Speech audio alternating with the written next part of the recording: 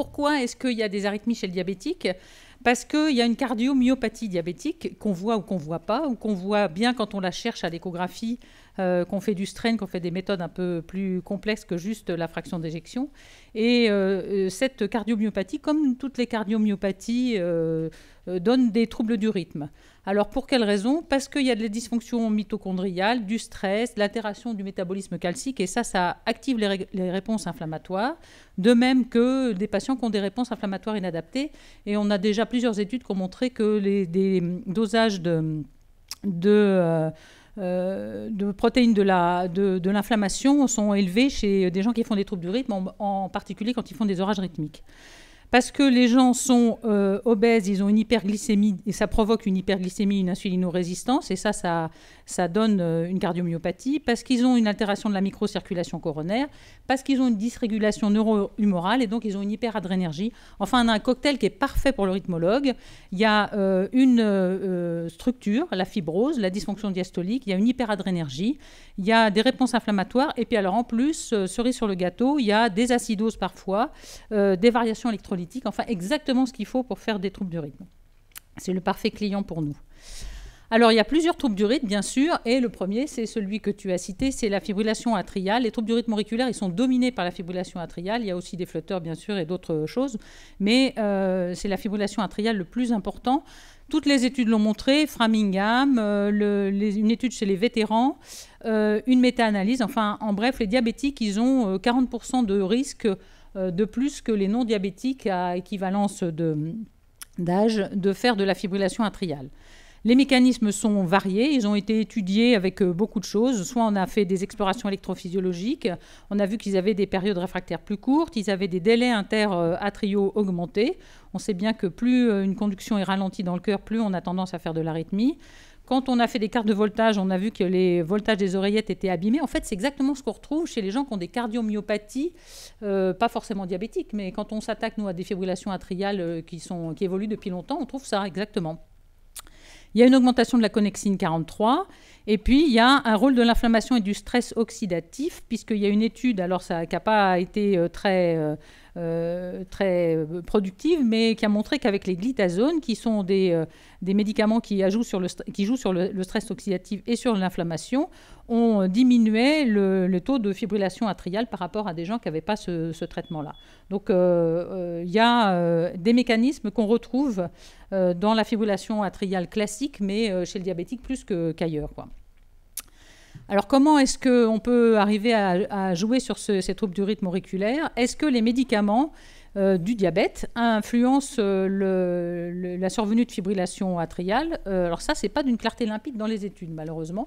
Il faudrait qu'on se penche un peu là-dessus.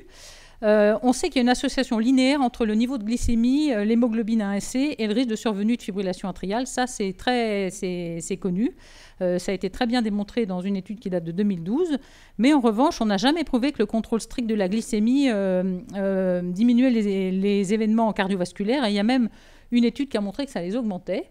Donc c'est assez compliqué de se dire que le diabète, ça donne de la fibrillation atriale, mais que si on rééquilibre, si on fait un équilibre glycémique correct, on n'est pas absolument certain que ça aide la survenue de fibrillation atriale.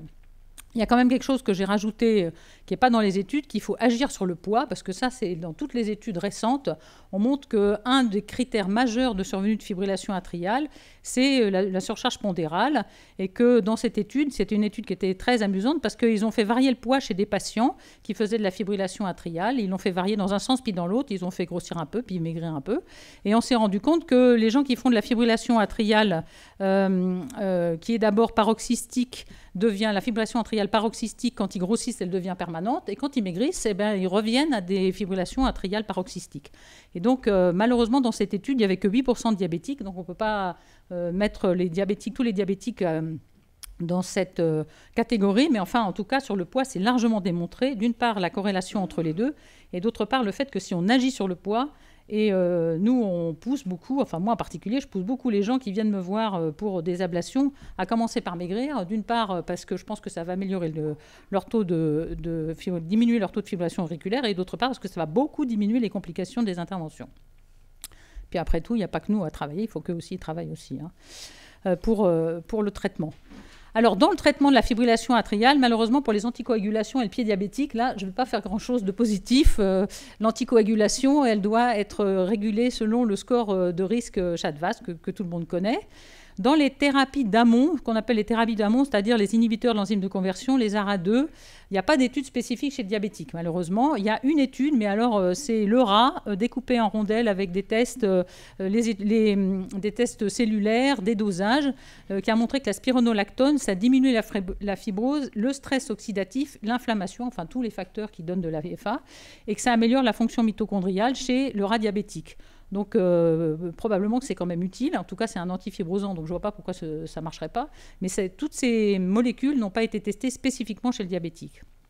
Les antiarythmiques, il n'y a pas de spécificité particulière de l'utilisation des antiarythmiques, sauf si vous suspectez votre patient a une coronaropathie, auquel cas vous savez que les antiarythmiques de la classe 1C ne sont pas euh, particulièrement recommandés.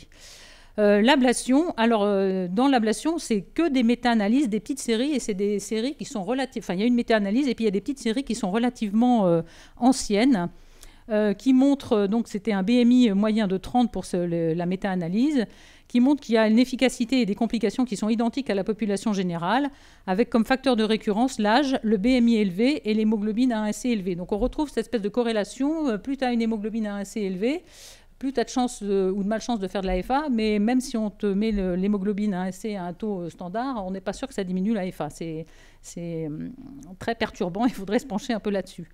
Alors, les complications de ces études, elles étaient d'ordre hémorragique ou thrombotique. Mais euh, ces études, elles sont vieilles en fait sur le diabétique. Elles ont porté sur des séries qui étaient anciennes et en particulier avant les AOD, au moment où on faisait euh, des relais. Les patients étaient sous AVK, on arrêtait les AVK, on leur faisait de l'héparine discontinue. Et, donc, il y avait, on sait très bien que ça, c'était des complications, de, ce sont des, choses qu'on ne fait plus maintenant. Et dans toutes ces études, je n'ai pas trouvé le BMI, alors qu'on sait que le BMI, dans l'ablation de la FA, c'est un facteur de complication absolument reconnu. Un BMI supérieur à 40, c'est 5% de complications en plus. Et puis ça augmente en fonction de. Plus vous c'est linéaire, vous augmentez le BMI, et bien vous augmentez les complications aussi. Alors, pour la fibrillation atriale, donc, euh, je n'ai pas de spécificité particulière, euh, sauf euh, ce que je vous ai dit, c'est-à-dire, je n'ai pas de solution magique. Pour les troubles du rythme ventriculaire, tous les mécanismes, là c'est comme pour la FA, sont présents pour favoriser la survenue de troubles du rythme ventriculaire. Il y a la structure, la fibrose inhomogène, le tonus sympathique, enfin tout ce qu'on connaît pour, euh, pour donner des troubles du rythme ventriculaire. Alors en plus, sur le plan cellulaire, il y a un potentiel d'action et un QT qui sont prolongés chez les diabétiques par rapport à la population non diabétique. Il y a euh, des études, en particulier une étude de Xavier Jouven qui s'était beaucoup penché là-dessus, qui a montré que euh, le risque de mort subite est corrélé avec la glycémie et avec le taux d'hémoglobine A1C, et c'est indépendant des autres facteurs de risque cardiovasculaire. Donc il y a deux études qui ont montré ça. Mais euh, cependant, la stratification du risque chez le diabétique, ça reste le même que, que celui de la population générale. C'est-à-dire qu'on ne donne pas de points supplémentaires pour implanter un défibrillateur, par exemple, à un, diabétique par rapport à un non-diabétique en revanche, il y a une chose qui a été montrée, c'est qu'un patient qui arrive avec un trouble du rythme ventriculaire, euh, fibrillation ventriculaire ou tachycardie ventriculaire, ces patients-là ont un risque de mortalité plus élevé à l'admission à J30 et à 2 ans. Donc c'est quand même un facteur de gravité. Euh, et euh, on sait évidemment que le risque d'infection des défibrillateurs, puisque ça se solde souvent comme ça, euh, est majoré chez le diabétique de façon importante. Ça, c'est une étude qui, est relativement récente sur la population coréenne, mais toutes les études ont retrouvé ça comme facteur de risque majeur d'infection de, prothèses. Il en un, c'est le changement de boîtier, donc pas la prime implantation, et en deux, c'est le diabétique et les corticoïdes. Et enfin, un traitement. Alors, j'aurais été très intéressée. J'ai cherché, moi, les traitements, les nouveaux traitements en me disant, chouette, je vais trouver plein de choses sur les nouveaux traitements du diabète et puis les troubles du rythme. Eh ben, j'ai rien trouvé du tout, sauf euh, un, une, les récepteurs GLP1. Donc, peut-être un traitement qui est intéressant. Et j'ai rien trouvé sur la FA. Euh, donc là, il y a quand même des études à faire. Euh, les, les, activateurs de la GLP1, ça réduit l'inductibilité des troubles du rythme ventriculaire. Donc euh, peut-être que ça, c'est un espoir quand même euh, dans, les années qui vont venir, mais pour le moment, euh, il n'y a aucune étude particulière là-dessus. Hein. En ce qui concerne les troubles de conduction, maintenant, que des petites séries qui font état de, qui sont anciennes aussi, qui font état d'un risque de BAV majoré chez le diabétique. Alors, il y a quand même quelque chose qui m'a semblé important parce que dans tout le dépistage de tout ce qui est fait, là, on n'en a pas parlé, c'est qu'il y a un risque qui est très accru qui est associé à la stéatose hépatique. Donc les gens qui ont une stéatose hépatique, ça m'a beaucoup frappé cette étude, ils sont euh, indépendamment de leur âge, de leur sexe, de la cardiopathie ischémique ou pas, du taux d'hémoglobine A1C. de l'atteinte euh, microvasculaire, ils ont un risque de trouble de conduction qui est très élevé par rapport aux gens qui n'ont pas de stéatose hépatique, que ce soit des troubles de conduction, bloc de branche, du BAV1, du BAV2 et du BAV3. Et sur la plaque de droite, vous voyez que c'est le taux de risque de bloc. alors ils ont mis bloc, ça veut dire bloc de branche et il n'y a pas que les BAV là-dedans, mais il est corrélé de façon très importante avec le taux de fibrose hépatique. Et donc c'est certainement quelque chose sur lequel il faudrait se pencher dans, le, dans la surveillance pour savoir si un patient a un surrisque ou non. Et puis bien sûr, euh, de la même façon que pour les défibrillateurs, il y a un risque infectieux qui est majoré chez le diabétique quand on implante un stimulateur cardiaque.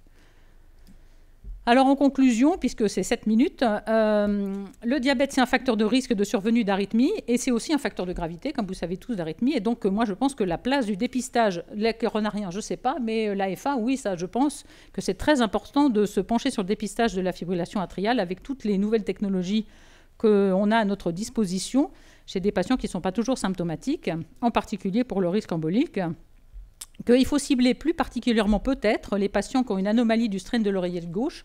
Il y avait une étude qui, euh, était très intéressante là-dessus, parce que ces patients-là, ils ont une, en fait, ils ont une cardiomyopathie de l'oreillette qu'on ne voit pas autrement. Ils n'ont pas des très grosses. Nous, quand on voit un patient et qu'on nous propose euh, de faire un traitement ablatif de l'AFA, la première chose qu'on regarde, c'est la taille de l'oreillette gauche.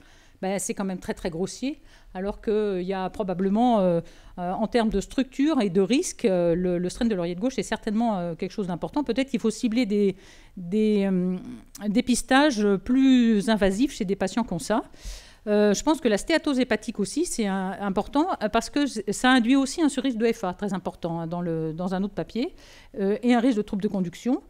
J'insiste sur l'amaigrissement, qui est un très net facteur de diminution euh, du risque de survenue du FA et de moins de complications si on doit faire un traitement euh, invasif, et le mode de l'activité physique. Et puis enfin, il y a quelque chose qui, je pense, va évoluer dans les années qui viennent, du moins j'espère, c'est euh, l'étude de l'efficacité des nouveaux traitements du diabète sur la survenue des troubles du rythme, pour lequel pour l'instant la littérature est très très pauvre. Voilà.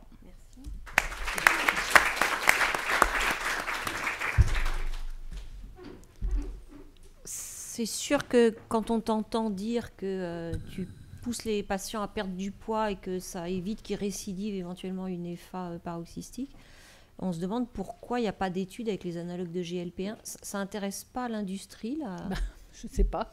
Mais en tout cas, j'étais très dépitée par ça parce que je, me suis dit au départ, je me suis dit, oh là là, qu'est-ce que c'est que ce topo? Puis après, j'ai vu les analogues GLP1, je me suis dit, au, moins, je vais trouver des choses nouvelles et intéressantes. Et j'étais très déçue euh, par ça. Et avant et après bypass, on, a des données alors, on a des données sur l'amaigrissement. Alors, j'ai pas, j'ai pas, avant et après bypass, j'ai pas regardé euh, spécifiquement, mais je pense que oui, parce qu'il n'y a pas de raison qu'il n'y en ait pas, parce que c'est vraiment la perte de poids qui est ciblée pour tout, euh, pour tout, pour toute l'amélioration, pour la, réduction de la FA. Et ça, il y a une littérature qui est très abondante et très récente hein, là-dessus.